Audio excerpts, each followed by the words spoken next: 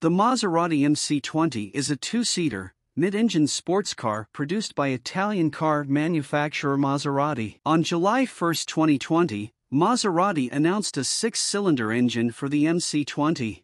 The engine was described as a 90-degree, 2,992 cubic centimeters, 3.0 L, 182.6 cu in V6 with a dry sump, twin spark and pre-chamber ignition system. It also has dual turbochargers and fuel injectors. The 220 kilograms, 485 pounds Nettuno engine can produce 630 PS, 463 kilowatts, 621 horsepower, at 7,500 RPM and 730 Nm. It redlines at 8,000 RPM.